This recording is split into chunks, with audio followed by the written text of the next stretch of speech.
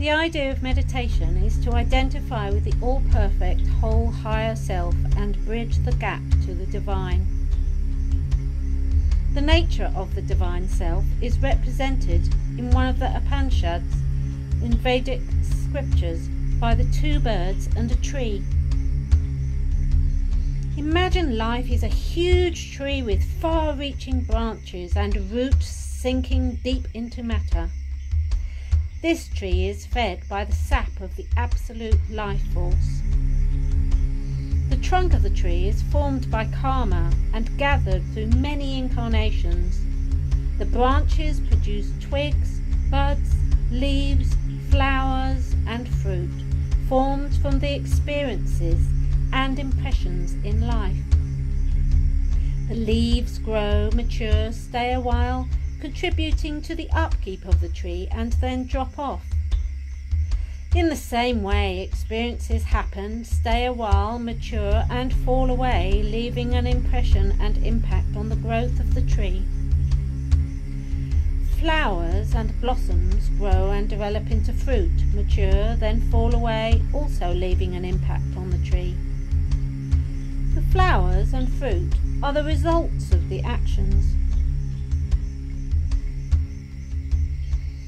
At the top of the tree, but not supported by or depending upon it, is a beautiful bird, self illuminated, self sufficient, and self contained.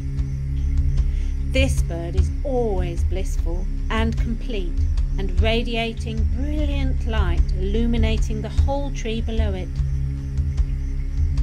The bird never leaves its throne of heavenly glory. It has no need, no desires, no wants. It has everything. There is another bird, similar in appearance, which lives in the body of the tree. It has no fixed, fixed place and moves constantly, hopping from one branch to another. This bird is always hungry.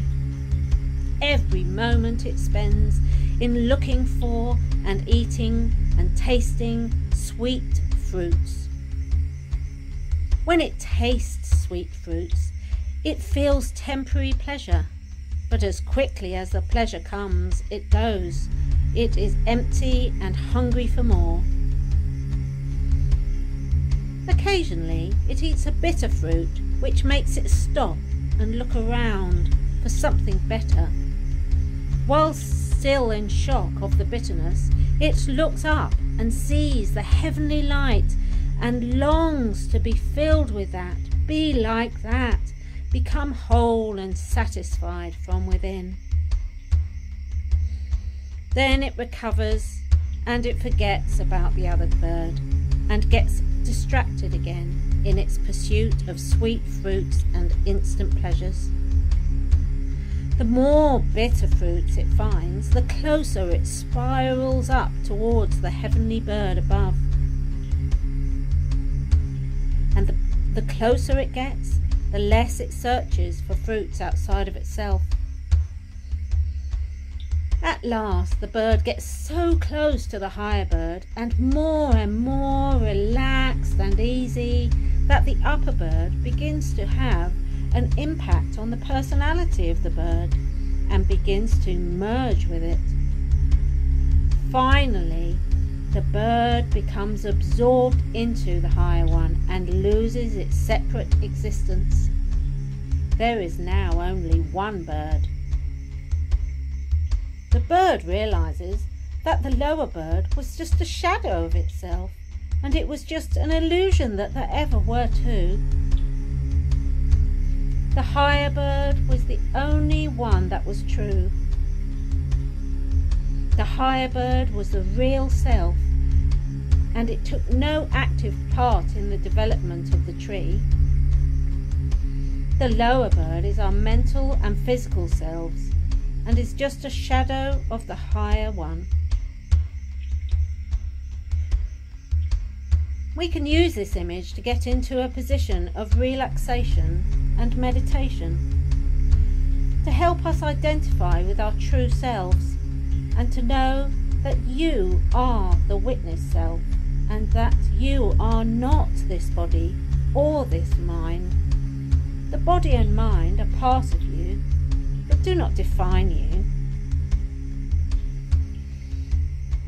I am separate, ever independent, and the mind and body are a product of me and do not define me.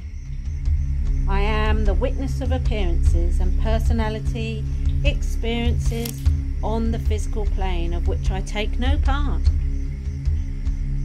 I am eternally blissful, self illuminated, perfection, whole, and absolute. I am that illuminated bird.